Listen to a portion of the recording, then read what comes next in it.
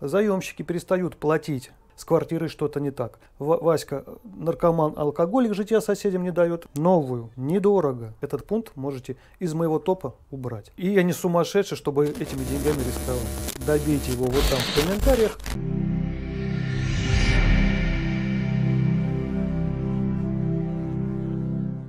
Здравствуйте, дорогие подписчики и гости канала. Мой топ квартир, который я никогда не куплю. Ни в какой ситуации, ни при каких обстоятельствах. Для тех, кто впервые на нашем канале, я руководитель агентства недвижимости практически уже с 12-летним стажем. Надеюсь, вы понимаете, что мне есть что вам сказать. Ну что, погнали.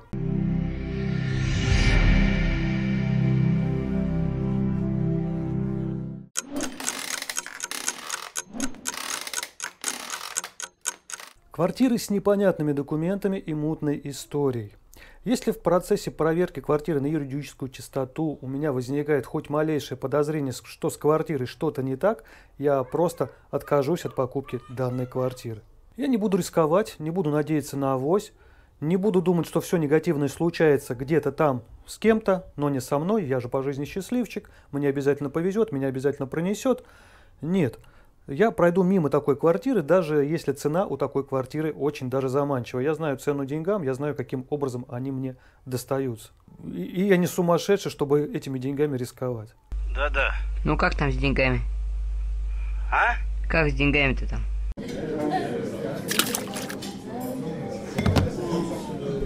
Квартиры с прописанными. Наверняка часто в рекламных источниках вам э, попадались такие фразы «требуется процедура выселения». Э, такие объявления, как правило, размещают банки, заемщики перестают платить по счетам, что называется, по ипотеке, и банк выставляет квартиру в продаже. Так вот, даже банки с их огромным штатом юристов не хотят связываться с такими квартирами, не хотят э, брать себе вот этот головняк по выписке предыдущих собственников с этой квартиры. Либо просто продавец уговаривает вас купить его квартиру с ним, с прописанным, и, мол, он когда-нибудь обязуется там через месяц после сделки из этой квартиры выписаться. Может выписаться, а может и не выпишется. В любом случае это ваш головняк. Оно вам надо?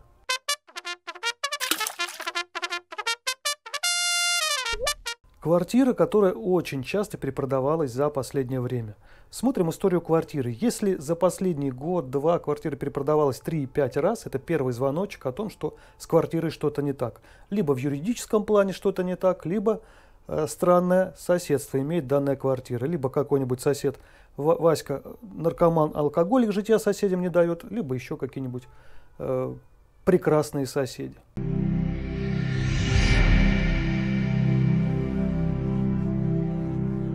Первые три пункта из моего топа так или иначе связаны с юридической чистотой квартиры.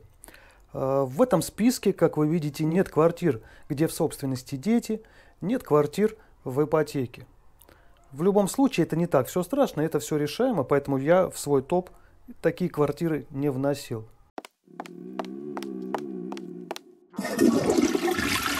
Квартира-студия маленькой площади. Те, кто давно подписан на наш канал – и следят за моим творчеством, наверняка знают мое отношение к таким квартирам. Я уже не раз об этом говорил.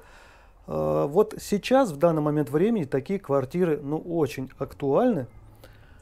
Но помните о том, что покупаю квартиру новую, недорого, пусть в районе даже с развитой инфраструктурой, вы покупаете, во-первых, большое количество квартирантов в аналогичных квартирах справа, слева, сверху, снизу – большое количество каких-то неблагополучных людей, это тоже ваши будущие соседи, и большое количество квартир, таких же квартир, как ваши, будут сдаваться по часам и суткам.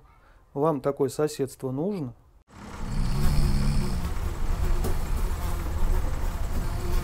Квартиры на окраине города. Да, на окраине города можно купить вполне себе неплохой вариант, новую квартиру – достаточно недорого, но помните о том, что в большинстве своем цена данной квартиры складывается из того, что в данный момент времени, в данном районе еще наверняка нет каких-то объектов социальной инфраструктуры, там нет работы, на работу вы будете ездить в город. Учитывайте время на работу и с работы.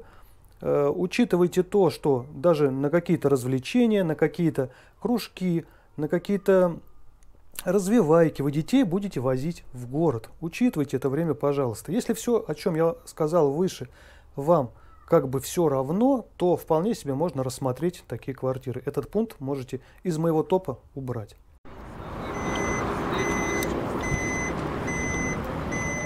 Квартиры над нежилым помещением, над магазином. Я имею в виду сейчас, конечно же, квартиры на вторых этажах. Покупая квартиру над э, нежилым помещением, вы изначально подписываетесь, берете на себя какие-то дополнительные обязательства, риски в том, что, допустим, вы нечаянно вдруг зальете э, магазин под вами и будете нести материальную ответственность за испорченный товар в этом магазине, допустим. Либо в этом магазине произойдет э, пожар, либо взорвется газовый баллон – и это, естественно, не обойдет стороной вашу квартиру, вы сейчас в комментариях, конечно же, можете написать, послушай, но сосед Васька наркоман, он может не меньше хлопот принести с этим бытовым газом. Согласен, согласен, полностью с вами согласен, даже спорить не буду, но покупая квартиру над нежилым, вы как бы это добровольно, что ли, берете на себя э, вот эти риски, как-то удваиваете их, что ли, причем действительно на добровольной основе.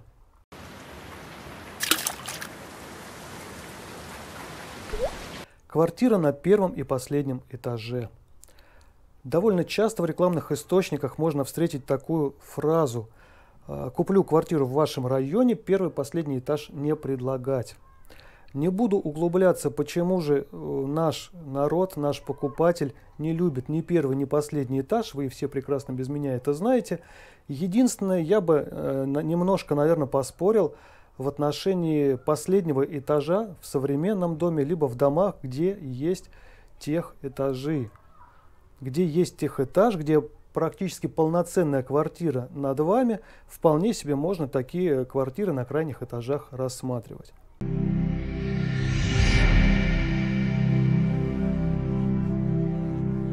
Это был мой топ квартир, который я никогда не куплю. Наверняка я что-то упустил, забыл. Допишите, пожалуйста, мой топ, добейте его вот там в комментариях. И либо поспорьте со мной в комментариях, если вы считаете, что я не прав и какой-то пункт из э, того, о чем я сказал выше, лишний. Но помните о том, что э, прежде чем что-либо купить, думайте уже о том, как вы будете это продавать. По статистике, по аналитике моего канала меня смотрят в большинстве своем молодые люди от 25 до 45 лет. Так вот, я уверен, что та квартира, которую вы приобретаете сейчас, это точно ваша не последняя квартира. Уж точно вы не мечтаете умереть в квартире на первом этаже э, где-нибудь на окраине города. А вот если вы все-таки купили такую квартиру и планируете ее в ближайшем будущем обменять, продать, расшириться – то у вас с продажей такой квартиры в любом случае возникнут некие проблемы. Вам будет очень сложно э, получить с продажи ее хорошие, нормальные, вменяемые деньги.